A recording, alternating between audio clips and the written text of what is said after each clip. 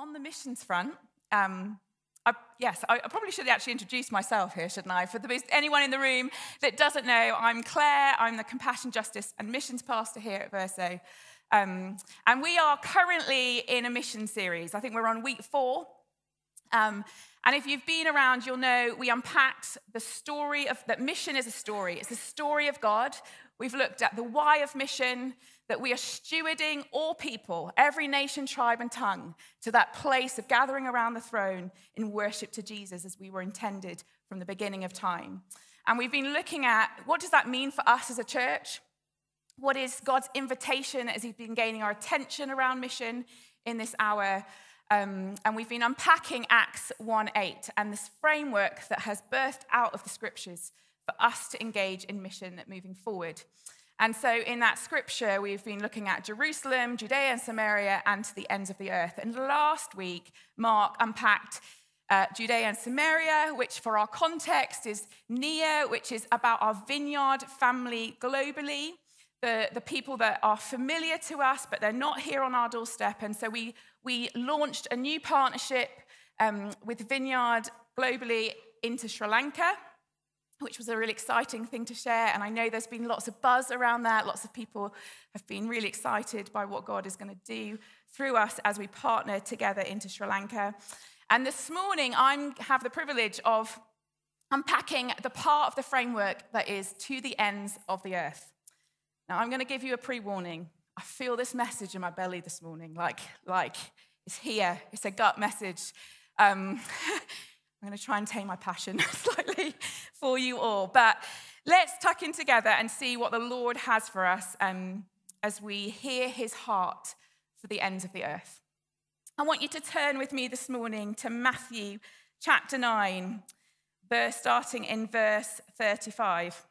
Maybe I'm getting too old, my, my own, but I'm like. Matthew 39, verses 35. And Jesus went throughout all the cities and villages, teaching in the synagogues and proclaiming the gospel of the kingdom, and healing every disease and every affliction. And when he saw the crowd, he had compassion for them, because they were harassed and helpless like sheep without a shepherd. Now, what is going on here in these two verses? Jesus, to state the obvious, is moving in villages and towns. He's doing what he came to do. He's fulfilling his purpose. He's telling us, telling those in those villages and towns about the good news of the gospel. And he's healing the sick and he's healing every affliction. And we immediately see a principle of the kingdom that Jesus is demonstrating because when he heals the sick and when he heals every affliction, we can think of the countless times in the Gospels where that looks like seeing the one, right? The woman that tugged on the hem of his garment, the, the lame man walking, the leper that no one would touch. Jesus models looking into the eyes of the one and seeing the one and responding to them. But then we see something different here. You know, in different versions, it says, when he saw the multitude, the crowds, he had compassion for them. Interesting. Here, Jesus sees the multitude and he has compassion for them. And, and that root word compassion here in this point in the Greek is a word that I will attempt to pronounce. it's splachgizomi. That's a terrible Greek pronunciation. I apologize in advance. But it literally means to have your gut torn apart. Jesus isn't just empathetic for the multitude that he's looking at. He's not just, I feel sorry for them, which so often is our modern understanding of compassion. Oh, did you hear about that thing? Oh, my heart, yeah, just felt so sorry for them. Jesus is torn apart in the gut for who? The helpless, the people that are harassed, who are like sheep without a shepherd. He is torn up in the gut for the lost. He's torn up in the gut about it. And that tearing up, when we experience that kind of compassion, what does it do? It, you cannot help but respond. You have to engage. You have to be moved to action. In fact, a lot of scripture says he was moved to compassion.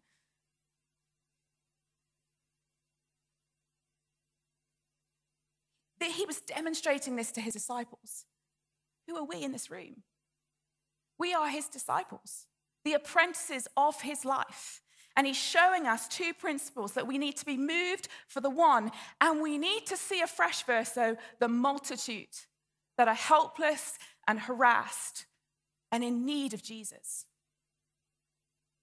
And I got to thinking about it like, is this how I really feel about the lost? Really?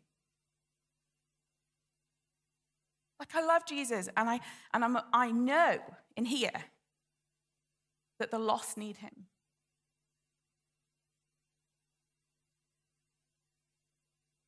But I am I moved like this, like Jesus was for the lost? I think sometimes I like to think that's the job of the evangelist. And I don't count myself an evangelist, but I'm a disciple of Jesus. And it got me thinking okay, Claire, well, why in this context of 2024 is it so hard for me to be moved like this? Like when I reflected on my own life. And then I started to think about just like what is forming me? We know that this forms us, right, as disciples. We know that community forms us. It helps us to become more like Jesus. But we're also aware that we live in a world that is forming us. Something is always forming us. It's just what is forming us.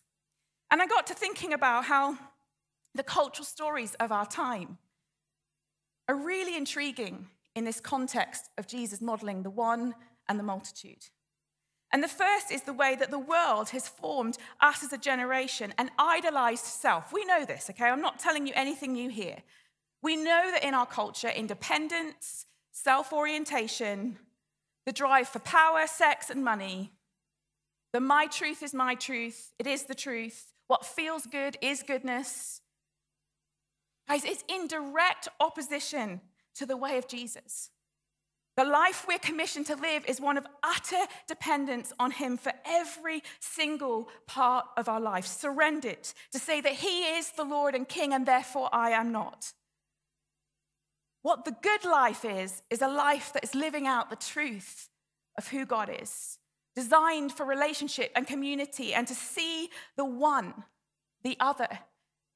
If we look at ourselves, we can't see the other. And then over the last 20 years or so, there's been this massive shift, right? We know this of over information. We have more access to the stories of the multitude of crises and problems in our world than we have ever had. And the idea of that is that we could would know more and we could be moved and we could we could respond. And what is this over information actually done to us? It's desensitizing us. And in the desensitization, because we hear it, I, mean, maybe it's just me that scrolls through social media and I'm like un, unmoved by the latest war that's broken out or the latest crisis. Maybe a little bit moved, but I like to think I'm slightly human, but you know, we scroll and we scroll and we read and we read. And we are being desensitized. And under the desensitization, what is growing is an indifference. Indifference. And it's creating the cycle back to the self again. If I just look after myself, this world will be okay.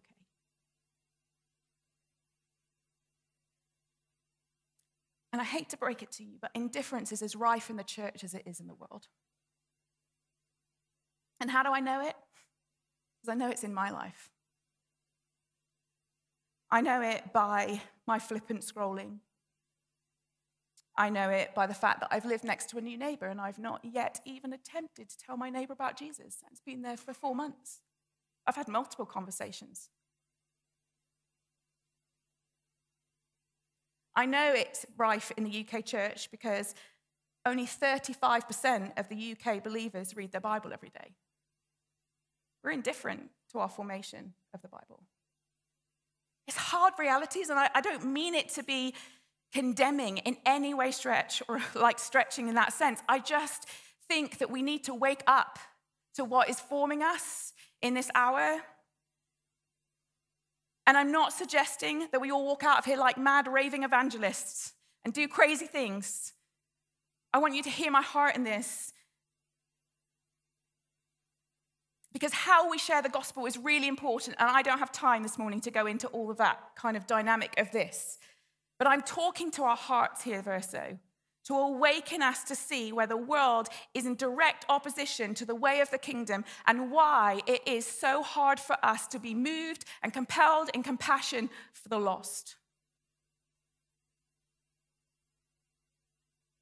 And when we think about this in the context of this mission series and in the context of this framework, that we feel the Lord is inviting us to extend our reach even to the ends of the earth. I believe there is a multitude of people that the Lord is calling the church globally in this hour to see. To see. And it's a multitude of people like us in this room, they may have very different lives to ours, but they are helpless to knowing any differently. They are harassed with wrong understanding by a world that's forming them and breaking them and leading them to an eternity of eternal separation with Jesus. And that needs to resonate in here. And that multitude, friends, is the 3.2 billion people on this earth who have little or zero access to the gospel, the unreached. It's estimated that uh, 3.2 billion people have little or zero access to the gospel. That's 40% almost of our global population. Within that, it's estimated that about 2.5 billion of them have never, ever had the opportunity to hear the name of Jesus. They've never had the chance to accept Jesus, let alone reject him. And I heard this um, from a, a, great, a great guy that I just admire so much, Andy. Um, he said this at the Send.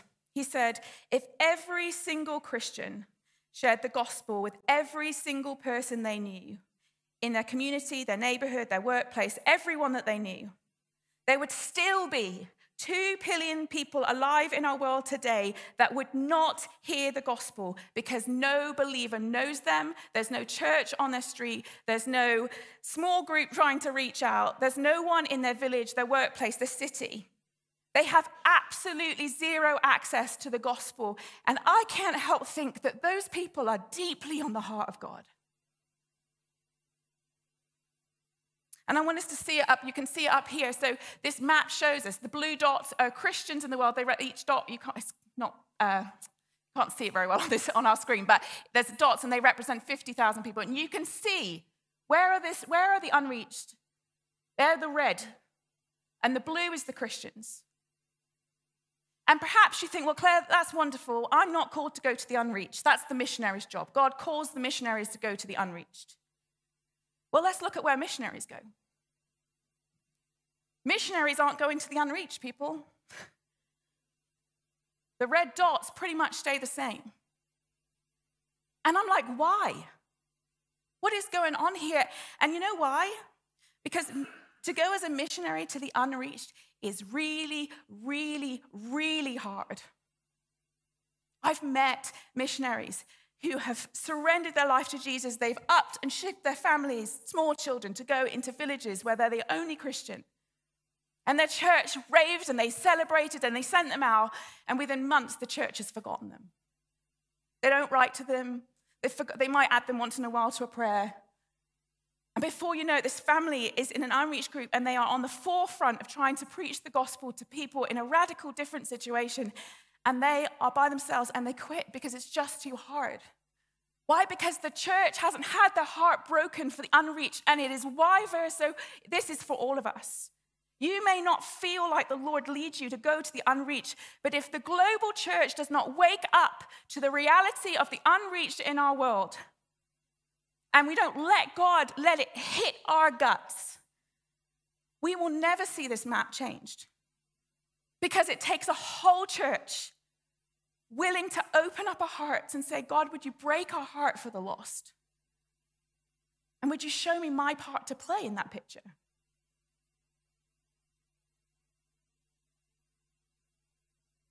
And I believe the Lord's been shaking the church globally. We've been talking about that. He's been shaking us. He's been refining us, right? He's been calling us back to a place of consecration, of holiness, and purity of worship, getting rid of our stages and our platforms and all the things that we've been idolized within the Western church. Why? Like Mark talked about last week, because I believe as we encounter him, as we see him, we worship him, we encounter his holiness, what happens? Mark talked about it from Isaiah 6 8. We see Jesus, we see the Father, we interact with the Holy Spirit, and our response is, Oh my word, you are so good. What you have done for me is so, so unbelievable. I can't help but respond, God, move in me. Here I am. Do whatever you want to do in me. Move me, shape me, call me, take me. You are the Lord, and I surrender because you're so good. And, and guys, if you're in the room this morning and you've never heard about Jesus, I want to tell you this morning, He wants to pursue you. He loves you. He designed you in a garden to commune with Him, to worship Him, to be in a place with no pain, no suffering, no unrest, no hatred, no injustice. And then the story unfolded, and we, our world was broken when sin entered through Adam and Eve. And here we are in this world, and you might feel broken this morning, but guess what? The good news of Jesus is that He came for you, the one. And He walks into our building and He's come for all of us. All of us that have said yes to Jesus, we've tasted and we've seen His goodness. And guys, His goodness is for the whole world, for every tribe, every tongue, every people group. We don't get to be selfish with it.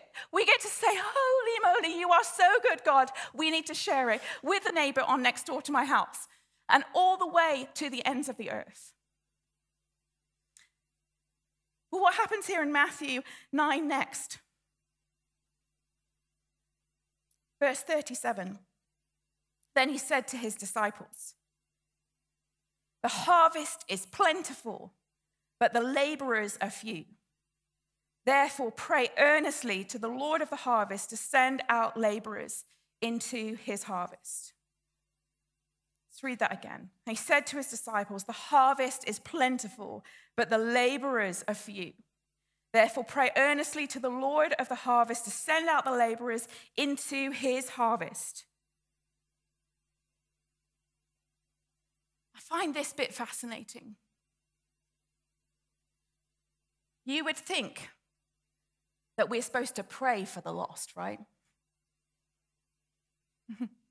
and we should. Don't get me wrong, we should. but I love this scripture because Jesus, in the face of seeing the multitude who are lost, he says, Guys, the Lord of the harvest is the Lord of the harvest. He has no doubt that when people taste and see how good he is, they're going to say yes to him. He's not concerned that people aren't going to turn to him. You know what he's concerned about? He's concerned about his bride, you and me, the church. That we will not carry that compassion in our hearts, that we will not go.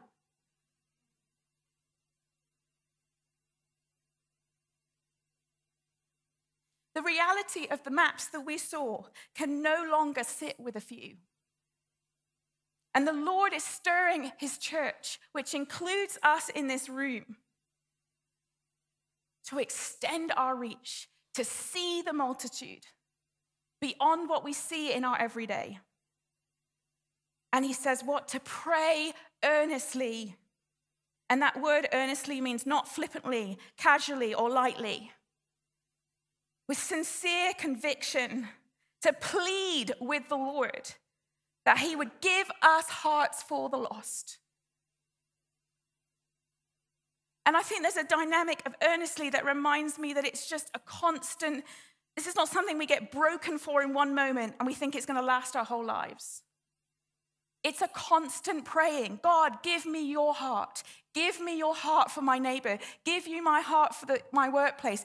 Give you, give me your God. Give me your heart for Sri Lanka. Give me your heart, even to the ends of the earth, to the remotest villages, to the tribes where there's not one single person who loves you yet. And I've seen this, honestly, this, this dynamic where it, it it is about continually praying and asking the Lord for it. You know, in our own lives, um, I've shared different bits of our journey, but um, the first time I became aware of this reality of the unreached, I was actually part of, it was on my DTS with YWAM when I was 18. And, and I can remember talking to my DTS leader and saying, you know what, I just, I don't really have a heart for that part of the world. And um, I just, you know, I'm not. I... And she said to me, Claire, you need to sharpen prayer and you need to start praying for this part of the world and watch what God does for you. And I remember he broke my heart.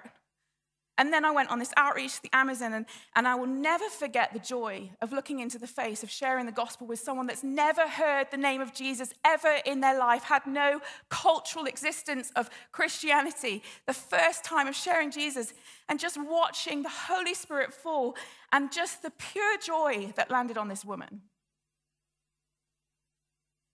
But then I kept going through my life, you know, and I was called into missions. I was in a missions community. It was great. It didn't take very long for me to lose track of like why I was even there.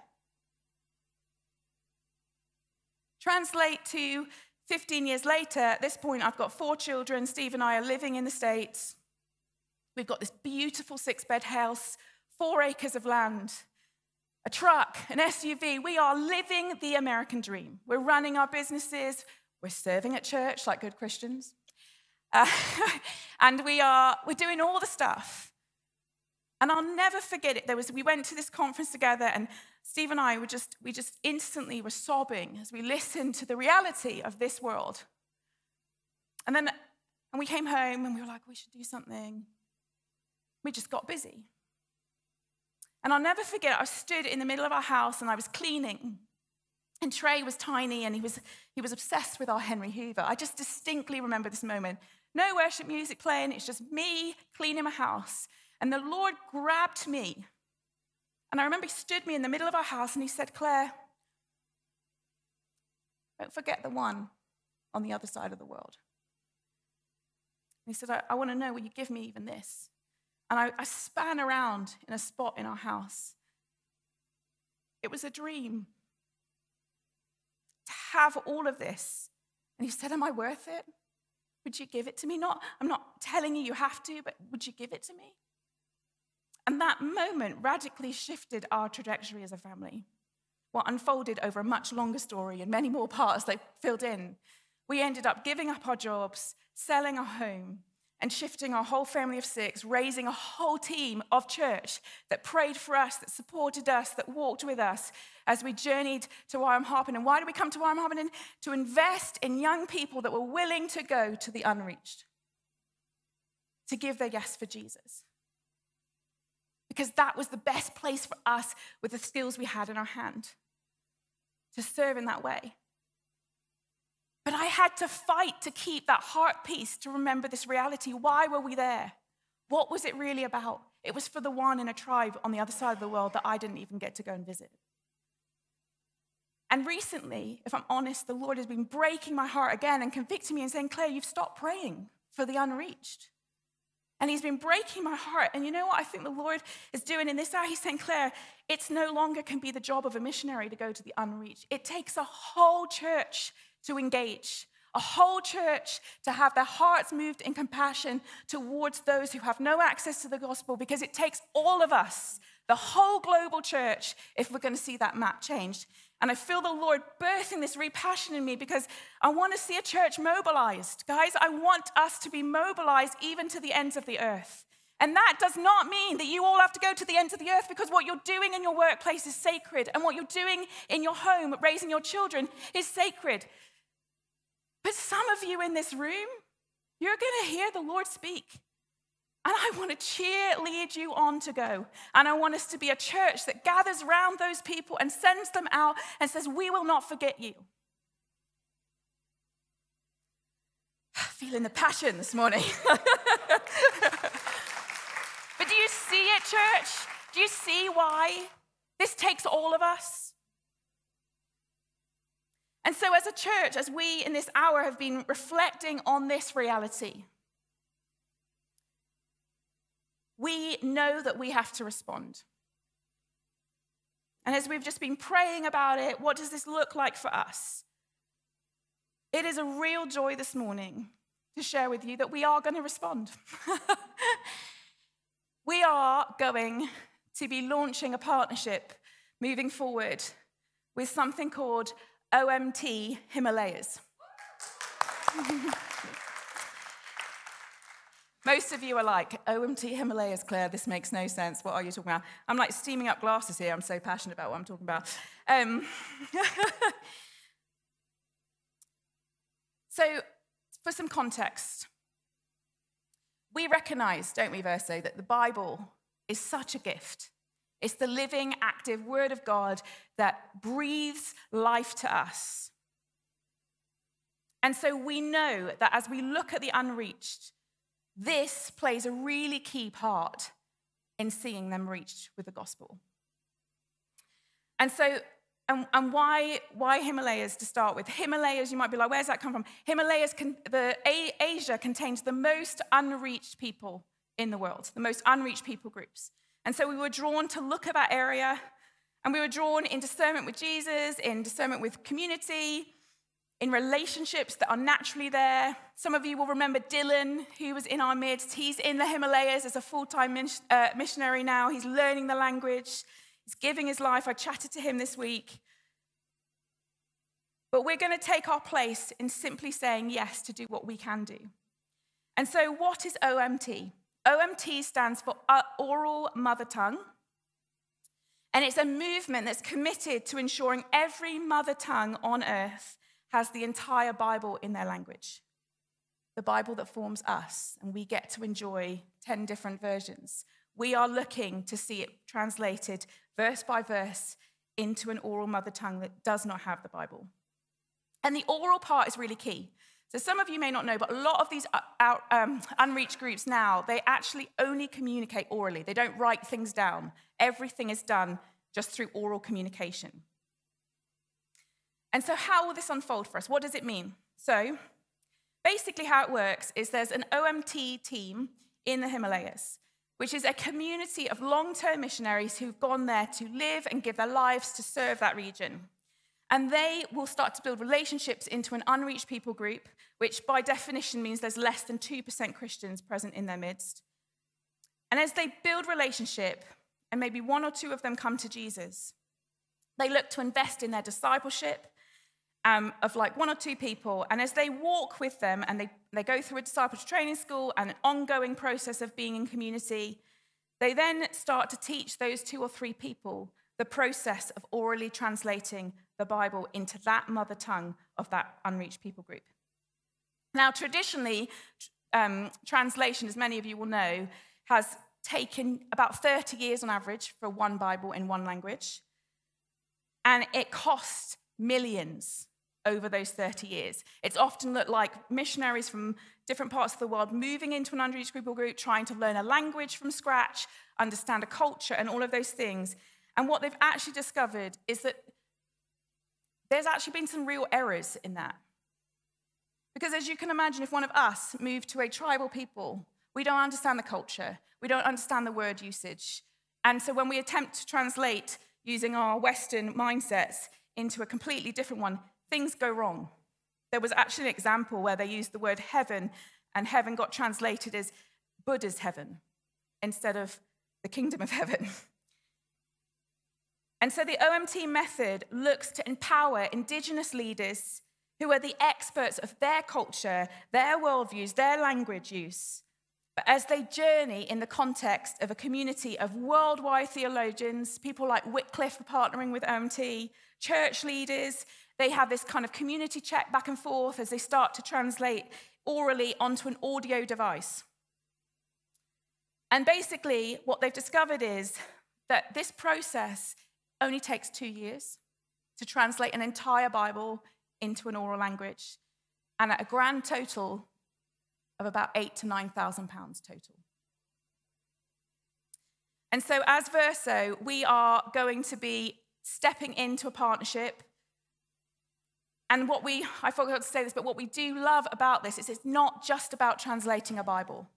OMT is a model that looks into the eyes of the multitude of unreached and goes, here's a group, the one, that need the Bible and investing in one person, two people, three people, translating the Bible as a tool in their hands, they are seeing long term transformation of a community coming to Jesus. The unreached being reached with the good news of the gospel. And so, as Verso, we are adopting an unreached people group.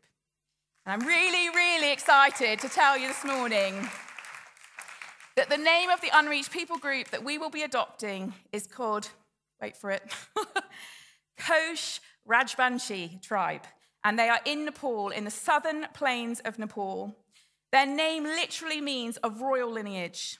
And they are a people group spread across South Asia. But in Nepal, they, they are in the flatlands where it's subtropical. And, and the vast majority of people in this people group hold fast to their tribal animalistic beliefs. But there's a remnant, guys. There's a remnant. A few people that have come to know Jesus. And there is a church starting to grow in this people group. And we want to empower them with the whole Bible so that they can see radical discipleship breaking out. Yes, let's thank Jesus. And so, as Verso, we're going to be financially covering the cost of those leaders' discipleship and the entire cost of translating that Bible. We're going to be committing in our times of prayer at places like Space and Breakthrough and different places to pray earnestly for people to fall in love with Jesus and to encounter him through the scriptures. That the Holy Spirit would fall on that tribe and that we'd see miracles and celebrate what God is doing. We're going to start praying earnestly for ourselves to keep being broken for the lost. And we're going to have the opportunity to go. Next year, we're going to take a team out to Nepal to serve alongside those long term missionaries, to go and meet this beautiful tribe made in the image of God. And we're going to get to go into the village and we're going to get to be part of distributing what we have been empowering to be translated on these little audio devices. And I think what really captured my heart, I was chatting to Jeremy, who we're going to hear from in a second. He was telling me a story, and he said, um, I think it was Jeremy or Katerina, one of the two. They were telling me about a team, a US church that's doing the same, and they took out a team and for the group that they were sponsoring. And in this team, there were some 16 year old boys who were on the team, and they had the story of the blind Bartimaeus on an audio device. And these boys were walking into the village, they were sitting next to people in the village, and they were playing this story of the blind Bartimaeus. Now, these boys can't speak the language. They're definitely not trained missionaries in the sense of like gone through a three year training program. They've just given a yes to go to the end of the earth for Jesus. And as they press play on this audio, they were, they were playing it, and a couple of people were physically blind. And these boys laid their hands on them and they were instantly healed and their eyes were sight. I mean, that is crazy. And we want that in our midst. And I think there's something beautiful about partnering in this way where we're going to get to experience something of what God is doing in the nations here. I want to see blind eyes healed in our midst. We have so much to learn from being in the nations. And so, to end here, we have a little tiny glimpse. They, they made a tiny video um, of that was uh, another church just to kind of give you a sense of how this looks when they translate. And then we've got a video from Jeremy, who's on the OMT leadership team for the world, and he's a Wairama in Nepal. OMT works around the world, um, and he is going to pray for us here at Verso this morning. And then I'm going to invite Yasmin up, our young adults pastor, who's going to lead us in praying for the people group that we are partnering with. And Yasmin has been to Nepal. She's been on the ground, she's encountered these places, and she carries something of the heart of what we want to see happen here at Verso. So let's watch these videos.